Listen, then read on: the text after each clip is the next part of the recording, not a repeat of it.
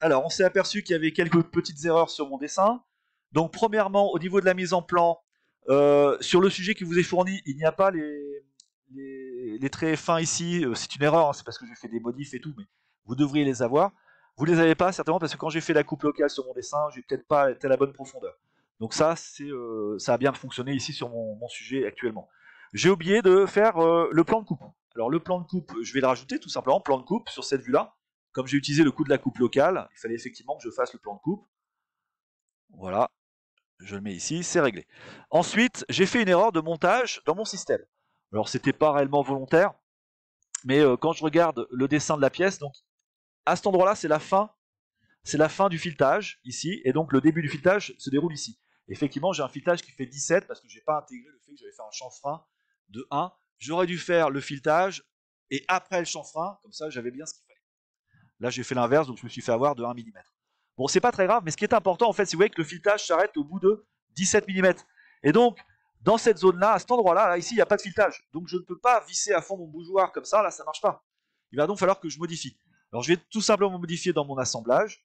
Je vais retrouver la cote que j'avais mis. Moi, j'ai mis, tout à l'heure, j'ai mis 20, un petit peu au pif, je n'avais pas fait gaffe. Et donc, bah, je vais mettre, euh, normalement, c'est, on va mettre, c'était 16, je crois. Donc, je vais mettre 16. Voilà. Et donc, euh, bah maintenant, on voit que le filetage, euh, il apparaît ici, il n'y a pas de souci. Donc, euh, c'est cohérent, d'accord? Vous pouvez aussi modifier, parce que là, j'ai un filetage qui fait 17. Donc, sur, non, c'est pas cette pièce-là, voilà, ici. J'aurais dû, mon filetage, le faire avant le chanfrein. Donc, je vais essayer de déplacer le chanfrein après. Voilà, ça doit être ça. Le filetage, lui, il me fait une petite erreur. Donc on va regarder ce qu'il veut. Il commence sur cette face, ce cylindre-là, et il commence sur le cylindre qui est ici. Euh, j'ai bien M12, longueur finie, c'était 16. Voilà, je modifie un tout petit peu. M12. On voit que pour un M12, le pas est de 1,75. Voilà. Et après, j'ai mon chanfrein. Donc là, maintenant, ça va, ça va être un peu plus propre. Je retourne sur mon bougeoir voilà, on voit que le filetage est un petit peu plus bas maintenant. Donc ça va être un peu, mieux. Bon, globalement, si vous avez compris comment ça, fonctionne, hein, j'ai oublié de faire. Ah Bon, faut pas que j'arrête, c'est celui du mieux que je veux. Voilà, non, je vais pas l'avoir. Bougeoir, voilà, je l'ai. Euh, outils, mettre à jour le niveau actif pour qu'il récupère toutes les contraintes. Je réenregistre. Je retourne sur la mise en plan, et voilà. J'ai le très fin qui veut dire fais-moi une mise à jour.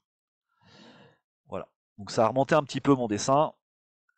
Et là maintenant, on voit bien que le filetage s'arrête tout en haut de la surface. Donc si vraiment vous voulez maintenant euh, le positionner, il faudrait le positionner par rapport à ce chanfrein là. Il faudrait le descendre un petit peu, mais bon là, moi ça me va très bien. Euh, on va, euh, je vais vous montrer deux trois petites choses pendant que j'y suis, s'il y a besoin. C'est pas forcément demandé, mais imaginons que vous voulez que cette pièce là ne soit pas coupée. C'est une vis, c'est une pièce de révolution, ça apporte pas grand chose que ce soit coupé. Bah, vous pouvez, en faisant les propriétés de la vue, lui dire de ne pas couper le bougeoir. Et donc dans ce cas-là, il suffit de lui dire ne le coupe pas en décochant ça. Attention, ne pas afficher la fait qu'il sera coupé sans les hachures. Ne pas couper fait que tout va passer en vue euh, extérieure. Donc on va voir en, arrêt de cacher normalement le trou intérieur. Voilà. Donc là, ça fait un peu plus propre au niveau de la partie filetée, on voit mieux ce qui se passe. Et on, on voit bien la cote de 16 que j'ai utilisée pour mettre en place l'assemblage. D'accord C'est pour ça que je voulais vous montrer ça.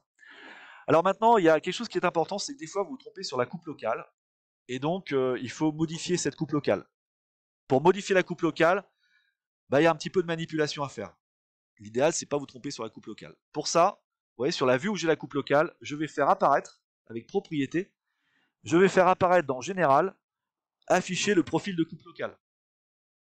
Vous faites OK. Et on revoit le tracé que j'ai fait tout à l'heure. Je sélectionne ce tracé, je supprime. Si j'y arrive. Voilà. Je remets à jour.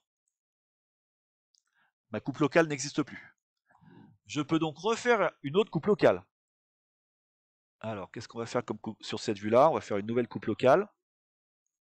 Oh, je la fais vite, hein, je vais faire un cercle je ferme la coupe locale. Je dois donc sur une autre vue, lui dire la profondeur. Tiens, cette fois-ci, je vais aller beaucoup plus profond, je vais aller au milieu de la, du bougeoir.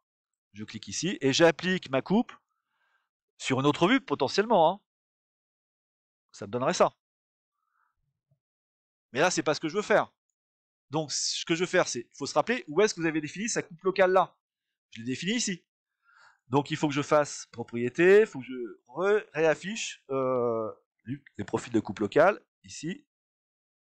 Propriété, afficher la coupe locale. Il va me dire ah bah elle est là. Et donc je la sélectionne et je la supprime. Vous voyez, vous sélectionnez la coupe locale et le résultat est sur une autre vue. Je clique sur euh, ce rond, je le supprime, je remets à jour. Donc je vais le refaire maintenant sur la même vue.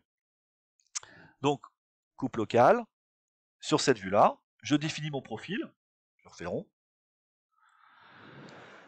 Je ferme ma coupe locale, je donne la profondeur, et moi quand j'ai fait la profondeur, je suis bien au milieu, et en fait euh, quand j'ai fait le sujet, j'ai fait des modifs, et donc c'est pour ça que les modifs n'ont pas été correctement répercutés sur ma coupe locale, et c'est pour ça qu'ici il vous manque les deux, les deux arrêts de cachet, hein. je suis pas tout à fait au centre, parce que j'ai fait des modifs.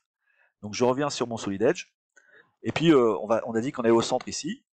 Et puis je clique sur mon résultat à cet endroit-là. Et cette fois-ci, je vois ça.